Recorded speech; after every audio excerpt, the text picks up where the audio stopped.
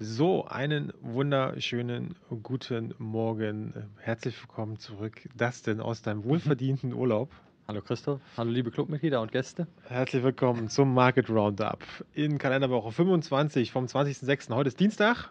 Genau. Ähm, es ist einiges passiert, während du weg warst. Absolut, absolut. Speziell sind die Märkte ganz weit, äh, relativ weit nach oben gelaufen. Ich glaube, solltest, also für mich als Aktionär könntest du gerne öfter in Urlaub gehen, wenn Hab das irgendwie zusammenhängt, aber ich glaube, es hängt nicht zusammen. Wäre wär schön, wenn das immer so passieren würde, wenn ich mal so eine Zeit lang weg wäre, wenn es immer so laufen würde. Ich würde mich freuen. Würd mich Genau, freuen. aber du kannst jetzt ja mal Licht reinbringen, in was wirklich die Märkte bewegt und äh, was natürlich nicht dein Urlaub gewesen ist. Los geht's. Genau, genau, genau. Wir schauen einmal rein und zwar gucken wir uns ja einige Themen an, kann man sagen. Viele Themen mal in Kürze, viele Themen vielleicht mal ein bisschen etwas länger. Ähm, die US-Notenbank hat die Zinspause eingelegt, wie erwartet quasi. Gucken wir gleich mal drauf. EZB ist weiter dabei, die Zinsen zu erhöhen, auch wie erwartet, kann man sagen. Ähm, in Japan hat es eine ziemlich steile Rallye gegeben. Auch da werden wir einen Blick drauf werfen. Wir werden auch auf die Unternehmen gucken, die wir uns da in unser Depot gelegt haben, hier in unserem Onvista-Depot. Da können wir nämlich einiges an Bewegung ausmachen.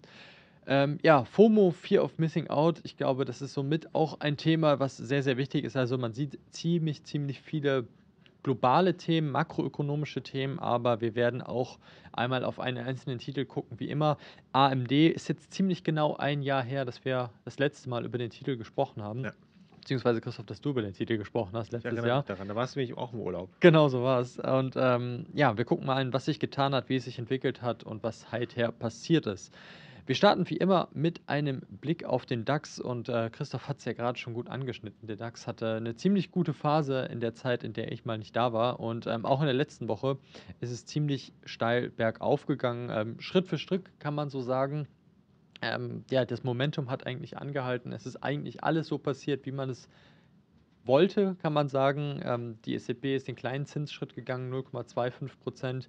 Die ähm, Fed hat gesagt, sie legt mal die Pause ein, wie es auch erwartet wurde. Hat zwar so an der Seitenlinie noch gesagt, ähm, wir gucken mal, wie es wird und äh, es kann gut sein, dass wir noch zweimal die Zinsen erhöhen müssen, also noch jeweils um 0,25 Prozent. Das hat man sich so ein bisschen offen gehalten. Das hat den Markt vielleicht auch so ein bisschen ausgebremst, muss man sagen. Grundsätzlich aber hatte auch der ein sehr positives Momentum und das sehen wir, wenn wir hier einmal auf den Chart zuletzt blicken. Also wir sehen diese schönen Formen, die hier überall nach außen gedrückt sind, insbesondere natürlich bei den zinssensibleren Indizes, hier beim Nasdaq 100, der ja sehr technologielastig ist und auch der S&P 500, der auch zu großen Teilen aus Technologietiteln äh, gewichtet ist und einfach an allen Märkten hat man diese sehr positive Bewegung gesehen. Der Dow Jones, der natürlich auch nicht so stark gefallen ist, hat sich so ein bisschen schwerer damit getan, äh, mitzuziehen. Nichtsdestotrotz sieht man auch da dieses positive Momentum. Also der Markt fängt so langsam an, hinter die Zinsen zu blicken oder ziemlich genau hinter die Zinsen zu blicken und äh, guckt, was so als nächstes kommt. Ähm, und ja, was kommt so als nächstes oder was ist gerade schon im Gange? Ich habe mal ähm, ja, ein großes Thema mitgebracht, kann man sagen, ähm, was genau zeigt, woher auch diese starke Marktperformance in den letzten Monaten gekommen ist. Es sind mal wieder die großen, wie so oft. Ähm, viele Titel, die wir ja auch hier bei uns im Depot schon mal zumindest besprochen haben, gekauft haben und ähm, ja zumindest intensiver mal angegangen sind. Und ähm, man sieht es hier Apple, Microsoft, Google, Amazon, Tesla, Meta, Nvidia jetzt ja auch mit quasi da im Boot. Und äh, man sieht, dass diese sieben großen Stocks, jetzt könnte man sagen AI-Stocks, ist es vielleicht ein bisschen hochgegriffen, aber die großen Technologie- ähm, ähm, Titel dazu gefügt haben, dass der Markt halt sehr, sehr stark gestiegen ist, während die anderen man sagen, so ein bisschen nachgehangen sind oder insbesondere die kleineren Titel, dieser Russell 2000, der hier unten hängt, ähm, ja eher noch gerade underperformen und äh, noch nicht so dieses große Momentum mitbekommen haben. Also fast 90% der Performance kommt quasi aus den großen, großen Titeln. Und ähm, ja, das muss man halt so ein bisschen sich vor Augen führen, warum teilweise vielleicht auch die Fragen entstehen, ähm, was passiert gerade an den Märkten? Und das wird nochmal ein bisschen deutlicher ähm, an dieser Grafik. Und zwar sieht man hier auf der einen Seite den S&P 500 Index hier in Blau, wie er verläuft, ähm, was so verschiedene Ereignisse waren, natürlich insbesondere in der jüngsten Zeit. Und auf diesem anderen, diesem schwarzen ja, Graphen hier sieht man quasi das Wechsel von einem bullischen oder einem bierischen Segment. Das heißt von ähm, einem positiv gestimmten Investorsegment zu einem negativen gestimmten Investorsegment. Äh, und man sieht so ein bisschen, äh, wenn man diesen Graphen etwas größer verfolgt, dass wir hier zur Finanzkrise am Tiefpunkt ungefähr eine ziemlich, ziemlich negative Stimmung am Markt hatten, ähm, die sich dann halt an diesem Tiefpunkt wieder umgekehrt hat. Der Markt ist dann wieder gestiegen. Ähnlich war es ähm, ja hier ähm, in diesem, diesem Zeitraum, kann man so sagen, in dem Zeitraum in dem Zeitraum und halt auch hier in dem letzten Zeitraum, ähm, wo wir gesehen haben, dass der Markt natürlich teilweise extrem bullisch war ähm, zu diesem Hoch hier und danach aber ähm, das Marktsegment sich natürlich immer stärker verschlechtert hat. Das ist insbesondere die Bewegung hier im letzten Jahr gewesen und äh, wir sehen halt, was in dieser Zeit so ein bisschen passiert ist und zum einen ähm, ja, hat die Fed langsam angekündigt, dass man vielleicht auch mal aufhört, ähm, die Zinsen zu erhöhen. Ähm, die Inflation ist so ein bisschen zurückgekommen, auch wenn gerade ähm, ja, das ganze Momentum durch Energie verstärkt wird, die ja zuerst mal Auslöser dafür waren, dass die Inflation überhaupt so hochgekommen ist. Jetzt gehen die Energiekosten wieder deutlich zurück, äh, bremsen so ein bisschen die Inflation. Das heißt, die Kerninflation liegt gerade eigentlich ein bisschen höher. Nichtsdestotrotz sind wir wieder auf niedrigeren Niveaus. Das heißt, Zinserhöhungen sind so langsam mal zumindest ähm, nicht mehr absehbar oder nur noch wenige Zinserhöhungen sind absehbar. Damit ändert sich das Marktsegment und das sieht man hier so ein bisschen unten. Also wir hatten eine sehr, sehr negative Stimmung und die verbessert sich gerade deutlich. Und das ist auch das, was ich am Anfang so ein bisschen mit dieser Fear of Missing Out ähm, angesprochen habe. Und zwar sieht man einfach, dass viele vielleicht noch pessimistisch sind und ähm, äh, eigentlich auch noch pessimistisch bleiben wollen, aber durch die positiven Marktentwicklungen so langsam ihre Position hinterfragen müssen, ähm, dementsprechend auch in den Kauf mit einsteigen. Und das ist dann wie so ein Dominoeffekt, kann man sagen, dass der eine sagt dann, ähm, ja, okay, der Markt steigt noch weiter, jetzt muss ich auch einsteigen, der steigt noch weiter, jetzt muss ich noch auch einsteigen. Das heißt nicht, dass der Markt jetzt immer weiter steigen wird, es kann genauso gut sein, dass es auch natürlich wieder einen anderen Trend gibt, aber das ist oftmals so ein Dominoeffekt. Und das hat sich so ein bisschen auch am Freitag gezeigt. Hm, wir haben diese Argumentation ja auch von der FED gehabt. Und eigentlich eher negativeres Signal bekommen und ähm, der Markt hat es aber gar nicht mal so negativ in der Woche aufgenommen. Natürlich ähm, gab es, ja, kann man sagen, Abschläge, aber in der Summe trotzdem noch eine positive Woche. Ja, okay, das heißt, die Marktstimmung ist von irgendwas, was letzt, Anfang des Jahres oder Ende letzten Jahres sehr negativ war, noch jetzt wirklich umgeschwungen auf etwas, wo die Posi Marktstimmung wieder positiv ist. Ja, also die Frage ist halt, ähm, bleibt diese positive Stimmung beibehalten? oder wechseln wir bald wieder ins Negative. Aber wir haben zumindest mal so einen letzten negativen Punkt gesehen. Und das war so ungefähr auch der Punkt, an dem der Markt sich halt so langsam gedreht hat, ja. weil halt immer mehr, mehr Schwung ins positive Segment kommt. Man guckt immer mehr in die Zukunft. Wir handeln ja an den Aktienmärkten die Zukunft und dementsprechend ähm, ja, haben die Märkte sehr, sehr positiv performt. Ja. Etwas Extremer sieht man es teilweise noch in Asien. Ähm, man sieht es hier links beim Hang Seng, der ja auch in dieser Zickzackform läuft, ähm, immer mal wieder positive Ausbrüche hat, weil man hofft, dass die Wirtschaft sich wieder bessert, dass Corona hinter einem liegt, ähm, dass sich die wirtschaftlichen Spannungen wieder lockern. Ähm, das ist immer so, ja, so eine Zickzackbewegung. Da gibt es mal positivere Daten, mal negativere Daten. Ähm, ähnlich sah es eine Zeit lang tatsächlich auch beim Nikkei aus und der ist aber jetzt sehr, sehr positiv ausgebrochen. Und das liegt zum anderen aus an diesen sehr, sehr guten Geschäftszahlen, die man eigentlich in vielen Segmenten gesehen hat. Also wir haben ja, ich glaube vor zwei Monaten ungefähr, zwei, drei Monaten diese ähm, großen Chine äh, ähm, japanischen Handelsunternehmen angesprochen ähm, und auch die Erwartungen des Marktes, dass teilweise die ja, sehr positive Zahlen liefern, also nicht nur die Handelsunternehmen, aber der generelle, das Marktsegment in Japan. Und das hat sich so ein bisschen bewahrheitet und damit hat man so eine Linie nach oben durchbrochen. Und ähm, ja, befindet sich jetzt wieder ähm, auf einem Hoch der letzten 30 Jahre, also auf einem sehr, sehr positiven Trend. Und das sehen wir gleich auch nochmal, wenn wir unser Depot gucken, wie sich das auf die einzelnen Titel ausgewirkt hat. Man sieht es auch in der letzten Woche, ein ähm, bisschen negativere Zahlen aus China, ähm, insbesondere was die Import-Export-Zahlen auch betrifft, äh, positivere Segmente aus dem Nikkei. Bevor wir aber in unser Depot gucken, gucken wir uns noch einmal an, was war letzte Woche los. Ähm, das nächste Quartal ist ja mehr oder weniger vorbei. Ähm, das heißt, Q2, es liegt so langsam hinter uns, aber es ist trotzdem noch in der einzelnen Woche ein bisschen was los gewesen. Ähm, Nikola Motor, mal so ein Kandidat gewesen. Ähm, ihr merkt schon, wir sind nicht mehr bei den ganz großen, ganz bekannten Titeln, ähm, aber hier sind wir bei hybriden Lastwagen. Und ähm, diese hybriden Lastwagen hatten eigentlich einen sehr, sehr negativen Trend. Und dann hatten wir genau etwas, was auch, wie sich ja so ähnlich auch bei GameStop abgespielt hat, so einen, einen sogenannten Short Squeeze.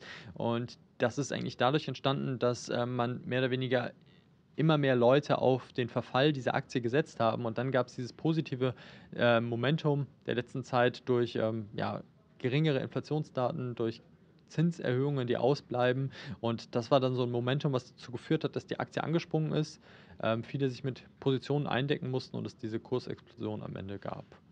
Bei Nikola ist auch immer die Diskussion, ob das wirklich echt ist, was sie da herstellen. ja, da gibt es so ein paar Varianten, die da waren, genau. Äh, diese so Lastwagen, die auch von, ja, von den Hügeln gerollt sind. Ähm, da ga, da gab es einiges genau an, an Spekulationen.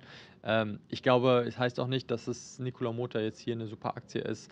Man kann aber, glaube ich, in Summe sagen, dass dieser Effekt halt wieder mal so eine Anomalie eigentlich am Aktienmarkt darstellt, was auch mal wieder auftreten kann. Gut ja. für Trader, kann man fast sagen, wenn man, ja. wenn man dabei gewesen wäre.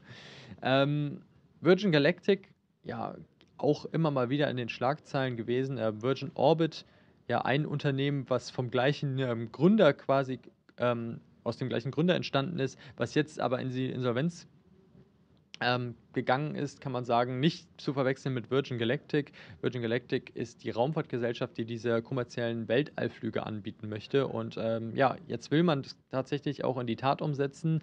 Ähm, Anfang August zwei Flüge kommerziell anbieten und äh, das hat natürlich die Aktie beflügelt. Wir hatten zusätzlich Zahlen von Adobe, also alle, die so im Design Imperium unterwegs sind, kennen den Anbieter definitiv. Ähm, ist eigentlich ein Software-Datenanbieter, der in der letzten Zeit von einem ja, klassischen Modell, wo man Software gekauft hat, besessen hat, übergegangen ist zu einem Abo-Modell. Das heißt, äh, die ganze Software von Adobe lässt sich eigentlich nur noch im Abo kaufen. Und das hat das Unternehmen zuerst eigentlich Umsatz gekostet, weil man halt nicht mehr so viel Schub auf einmal bekommen hat. Aber durch diese regelmäßigen, kontinuierlichen, wiederkehrenden Umsätze ähm, merkt man eigentlich jetzt ein ganz positives Momentum. Und ja, langfristig scheint sich das Ganze auszuzahlen. Als letztes haben wir noch CTS Eventim dabei. Das hat der eine oder andere vielleicht mitbekommen. Ähm, da gab es weniger was in der, an Finanzzahlen, Finanzdaten, sondern da gab es ähm, ja, Kritik in der deutschen Unterhaltungsbranche, kann man sagen. Der eine oder andere kennt vielleicht das ZDF-Magazin Royal, ähm, wo gegen CTS Eventim mal wieder gewettert wurde. Ähm, es gab quasi so einen kleinen Eklat, dass man sich an zu hohen Gebühren bereichert, diese Gebühren ganz, ganz undurchsichtig sind. Ähm, ja, und das hat eigentlich dazu geführt, dass die Aktie in dem Moment so ein bisschen abgestürzt ist. Hat also eigentlich wenig mit den Finanzdaten zu tun, sondern eher mit, mit dem Standing der Firma außenrum. Das so zu den News der letzten Woche. Wir blicken noch einmal, wie gesagt, auf unser Depot, denn natürlich hat sich auch das sehr positiv entwickelt. Jetzt in dem letzten Momentum, wir sind jetzt hier unten, kann man sehen, ungefähr 5,5% im Plus. Und ähm, die Unternehmen, die halt hier insbesondere rausstechen, sind diese drei Handelsunternehmen, die ich gerade eben angesprochen habe, aus dem Nikkei, die wir uns hier eingekauft haben. Man sieht es hier am 2.5. haben wir diesen Kauf getätigt ähm, und die sind jetzt alle ungefähr 30, 40 Prozent im Plus was man halt daran sehen kann, dass das, der Nikkei generell halt dieses sehr, sehr positive Momentum erzeugt hat. Und ähm, das ist insbesondere bei den Unternehmen ganz interessant, weil die ähm, über Jahre eigentlich ziemlich stagniert sind. Ähm, eher Dividendenzahler waren und damit jetzt auch mal wieder so einen Schwung nach oben bekommen haben. Ähm, ich glaube, vor ein paar Tagen wurde auch dann wieder bekannt, dass Warren Buffett seine Position auch in diesen großen Handelsunternehmen weiter erhöht hat. Das heißt, auch da kann man mal weiter ein Auge drauf haben. Äh, wir sehen oben auch Meta-Plattforms, die wir, glaube ich, mit zuletzt gekauft haben.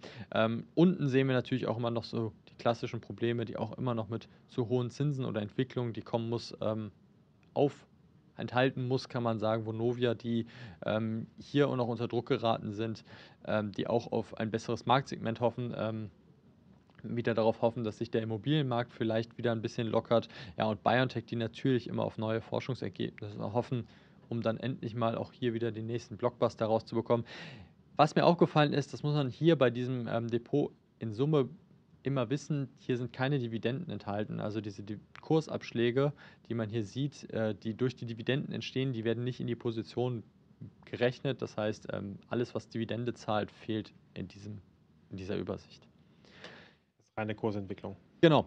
Wir schauen einmal auf AMD. Und ähm, ich habe es ja angesprochen, wir haben ziemlich genau vor einem Jahr auf AMD geguckt. Und AMD ist ja somit eines der Unternehmen, die immer wieder zuletzt in den Schlagzeilen waren durch diese ganzen Entwicklungen rund um das Thema künstliche Intelligenzen, ChatGPT und, und, und, was alles gerade auf dem Markt geschieht.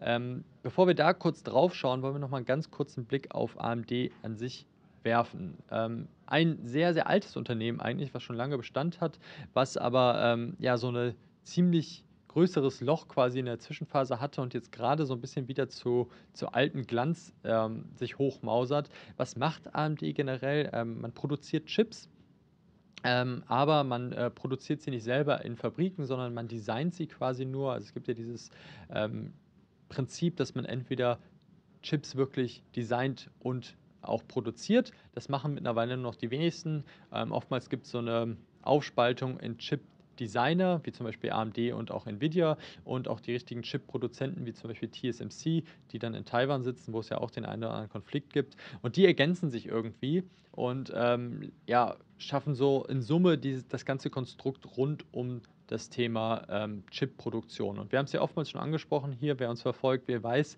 ähm, Chips es sind bei uns immer wieder ja, ziemlich groß im Thema, weil halt für alle digitalen Entwicklungen der Zukunft eigentlich Chips gebraucht werden. Ganz abseits von künstlichen Intelligenzen und so, wo natürlich sehr leistungsfähige Chips gebraucht werden, ähm, hat jeder Kaffeekocher mittlerweile eigentlich irgendwelche Chips verbaut. Zwar nicht von AMD in dem Fall, aber. Genau, genau, aber ähm, das Thema Chip ist also ähm, grundsätzlich sehr, sehr wichtig. Und ähm, AMD, Christoph hat es gerade gesagt, ähm, verbaut halt insbesondere sehr leistungsstarke Chips.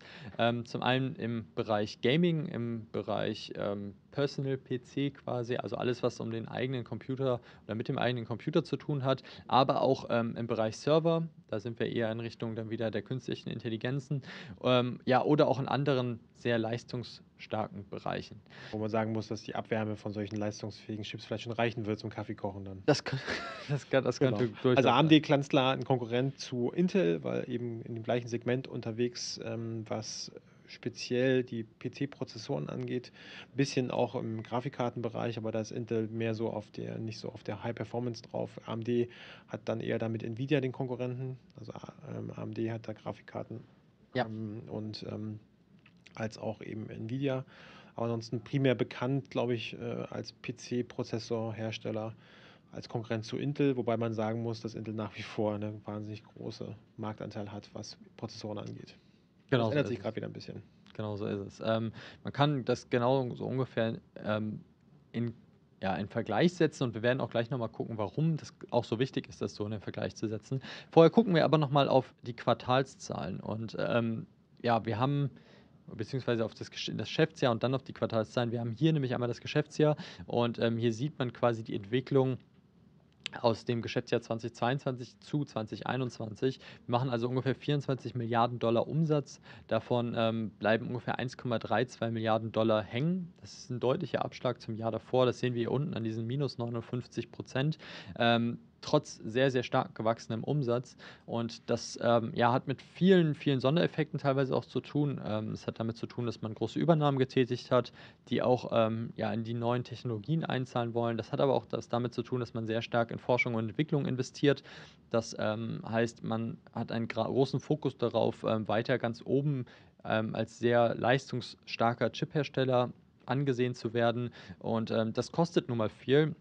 Und ähm, ja, das merkt AMD zuletzt insbesondere verstärkt. Also wenn man das letzte Quartal blickt, dann sieht man, dass ähm, insbesondere dort ähm, jetzt in den letzten zwei Quartalen negative Gewinne zu Buche geschlagen sind. Ähm, das hat teilweise, wie gesagt, mit diesen Sondereffekten zu tun, teilweise aber auch damit, dass man einfach viel, viel investiert ähm, in diesen verschiedenen Geschäftsbereichen. Und äh, das Ziel, kann man sagen, ist da wirklich aktuell ähm, zu Nvidia aufzuschließen, die ähm, so ein bisschen ja, Technologievorreiter sind, zumindest in diesem Grafikkartensegment. Ähm, da benötigt man natürlich diese sehr, sehr hochleistungsstarken Chips für die künstlichen Intelligenzen. Das kann man quasi so, so vorstellen, dass wir einerseits diesen äh, persönlichen PC-Markt haben, wo AMD eher günstigere, trotzdem sehr leistungsstarke ähm, Grafikkarten und auch Chips anbietet äh, und auch Prozessorenchips.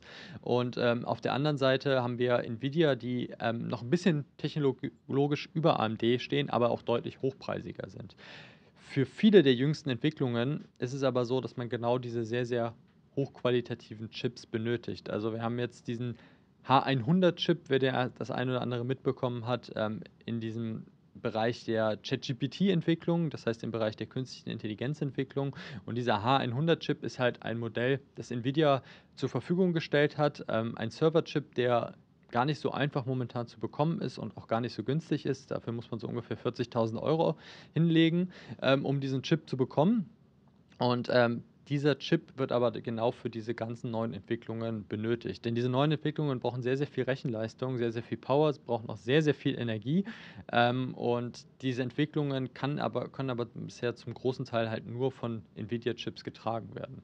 AMD versucht jetzt aufzuschließen, hat jetzt vor kurzem einen neuen Chip vorgestellt, ähm, M300X ungefähr heißt der, der soll technologisch quasi auf einem gleichen oder sogar über dem Niveau von Nvidia liegen ähm, und soll quasi dazu helfen, AMD auf das gleiche Level zu bekommen. Denn man muss sagen, die Umsätze in den verschiedenen Bereichen ähm, bei AMD haben sich anders entwickelt als bei Nvidia. Man kann sagen, dieser Personal-Bereich, der hält sich eigentlich ganz gut bei AMD, fällt aber trotzdem, weil wir haben rezessive Phasen. Ähm, die Konsumenten haben nicht mehr so viel Kapital, ähm, schwenken eher auf günstigere Chips, vielleicht von AMD um, oder sie kaufen gar keine. Das heißt, ähm, Nvidia sieht da eigentlich einen deutlich stärkeren Einbruch. Auf der anderen Seite hat Nvidia halt in diesem Server-Chip-Bereich sehr, sehr stark zugelegt und ja, AMD hat diese Entwicklung bisher noch nicht mitgemacht. Ähm, die, dort stagniert man. Das heißt, man erhofft sich durch diesen neuen Chip ja, aufzuschließen. Das Problem ist, der kommt erst im Quartal 4, das heißt, es dauert noch ein bisschen dahin und die Entwicklungen sind gerade doch sehr, sehr rasant. Das heißt, ähm, vielleicht ja, ist man da ein bisschen zu spät, denn Nvidia ist da, glaube ich, auch in, in weiterer Entwicklung dran, aber das bleibt dann weiter abzuwarten. Zurück kurz zu den Zahlen, was wir hier sehen. Wir haben den KGV von 626. Das heißt, ähm, wir haben ein sehr, sehr hohes KGV, was zum einen daran liegt, dass der Gewinn natürlich deutlich eingebrochen ist, ähm, also um diese ja, 60 Prozent.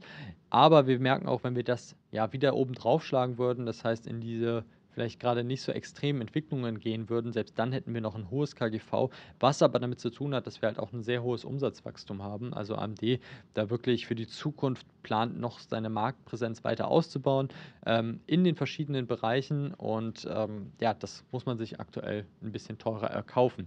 Nichtsdestotrotz hat die Aktie sich sehr positiv entwickelt. Ähm, seit wir das letzte Jahr darüber gesprochen haben, sind hier ungefähr 60 Prozent plus zu sehen und das sieht man auch in diesem ja, in dieser Bewegung hier oben, wir hatten natürlich den großen Hype rund um Corona, um die Corona-Zeit, dann ist man deutlich zurückgekommen, insbesondere im Chip-Segment ist der Konsum auch deutlich zurückgegangen und das zieht jetzt gerade wieder an, was natürlich mit den neuen Entwicklungen, aber auch mit den generellen Entwicklungen im Aktienmarkt zu tun hat. Blicken wir zuletzt noch auf die Pro- und Kontra-Seite. Ähm, man kann sagen, das Unternehmen ähm, profitiert grundsätzlich einfach von dem generellen Bedarf am Chip Markt. Ähm, das ist den, den wir auch immer öfter ansprechen. Das heißt, wenn man gar nicht auf einzelne Trends unbedingt setzen möchte, dann ist doch in der Zukunft ziemlich klar, dass wir auch ähm, hochleistungsfähige Chips brauchen in unserem Alltag und ähm, das eigentlich das, das, Thema der Digitalisierung ist. Und ähm, das ist natürlich einer der großen Profiteure. Das liegt daran, dass das Design von diesen leistungsstarken Chips gar nicht so einfach ist und eigentlich das Know-how in den Händen von wenigen Unternehmen liegt. Christoph hat es gerade eben angesprochen, Intel ähm, Qualcomm, Nvidia, AMD, das sind so da die großen Unternehmen. Es gibt noch ein paar andere rechts und links, aber das sind so die, die sich natürlich auch um, um den Markt streiten. Ähm, haben so ein bisschen Spezialisierung in verschiedenen Segmenten. Grundsätzlich kann man da sagen, braucht man ähm, ja auch eine breite Masse an Chips für verschiedene Anwendungsfälle. Und ähm, ja, man muss sagen, dass das auch gefördert wird von den USA. Also die wollen diese Technologie, dieses Know-how auch hochhalten, ähm, auch in der westlichen Welt quasi halten und äh, fördern das auch immer ganz stark. Also wer es jetzt mitbekommen hat, Intel baut jetzt auch wieder Fabriken, sowohl in den USA als auch hier in Deutschland, in Magdeburg jetzt zuletzt. Und ähm, ja, man sieht, dass da also quasi viel Investitionskapital auch drin steckt. Auf der anderen Seite sehen wir, dass ähm, das Unternehmen hohe Ausgaben halt für die Market für Marketing hat, für Forschung und Entwicklung hat. Das heißt, ähm, man setzt gerade auf viel Geld dafür ein, ähm, aufzuschließen zu den Branchenführern und äh, das geht natürlich zu Lasten des Gewinns. Zusätzlich haben wir das Problem, dass wir halt als Fabless-Designer ähm, auf die Produktionsstätten anderer Unternehmen angewiesen sind. Das heißt, man hat keine eigenen Fabriken, sondern man genau, designt genau. nur und lässt dann fertigen. Genau, das heißt, man hat theoretisch ähm, das Problem, dass man ja auch nicht einfach die Produktion so einfach hochfahren kann. Also das können jetzt auch nicht die anderen unbedingt, weil es gibt halt nun mal einen Engpass und Chips sind nicht so einfach zu produzieren. Aber grundsätzlich ist man darauf angewiesen, dass man diese Kapazitäten bei anderen Unternehmen bekommt, die für einen produzieren. Und ähm, das ist natürlich ähm, ja auch geopolitisch so ein bisschen unter Feuer, wenn man jetzt gerade nach Taiwan guckt, wo der größte Chip-Produzent der Welt sitzt. Zusätzlich unten, ich habe es gerade eben angesprochen, diese neuen konkurrenzfähigen, kann man sagen, natürlich die Chips sind gerade auch schon konkurrenzfähig, auch in anderen Segmenten, aber diese neuen Chips kommen erst Ende Q4 auf den Markt. Ähm, ja, und bis dahin muss man quasi dabei zusehen, wie die Konkurrenz doch schon ja, Schritte nach vorne geht. Das kann man so ein bisschen zur AMD sagen, Christoph. Ähm, ich weiß, du hattest Positionen in AMD, hast immer noch Positionen auch in AMD. Ähm, auch ich habe Positionen in der Aktie, aber ich glaube, wir verfolgen das Ganze auch weiter entspannt.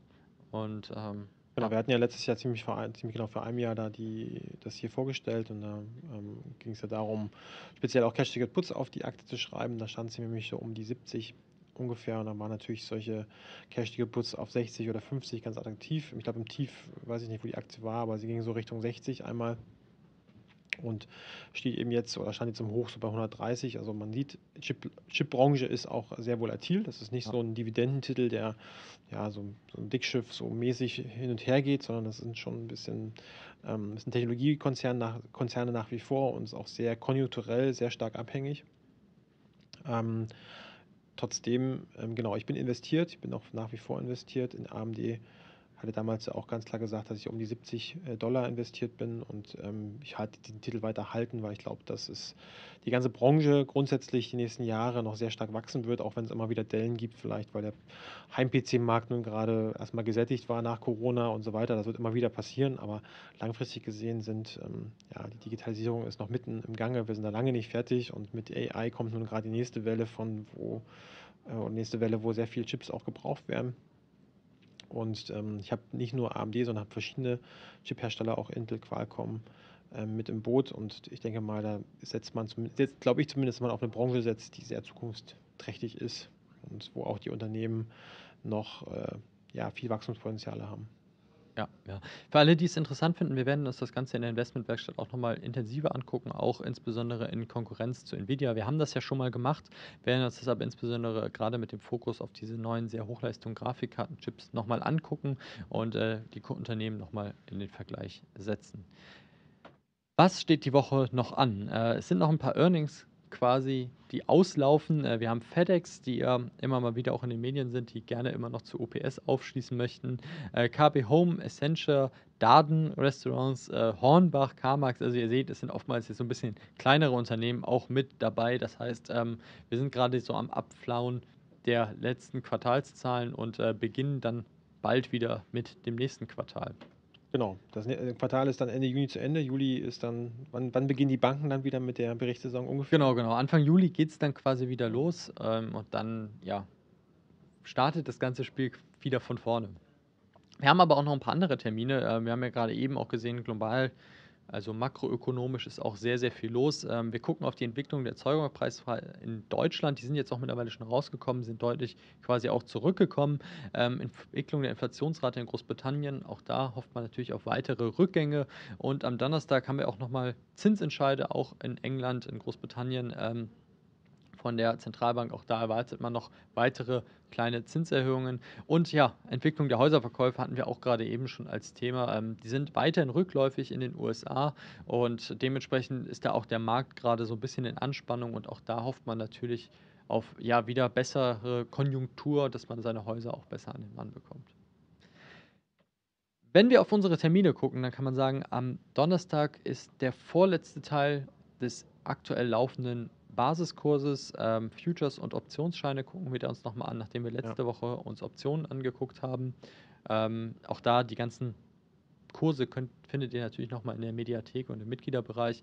Ähm, und wir haben natürlich auch wieder die nächste Investmentwerkstatt und wir werden starten wieder mit einem Rückblick auf die Depot- und die Quartalszahlen nach dem Ende des Q2. Kann man sagen, hier am 5.7. geht's los. Falls ihr noch Fragen habt, schreibt sie gerne rein. Falls nicht, hören wir uns wieder Donnerstag nächste oder nächste Woche. Genau. Und Willkommen ja. zurück, Dustin.